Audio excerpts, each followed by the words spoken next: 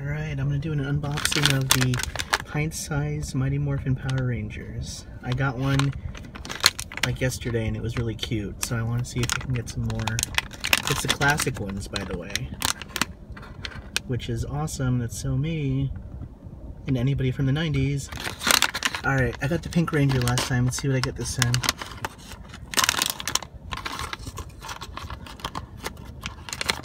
Okay, let's see.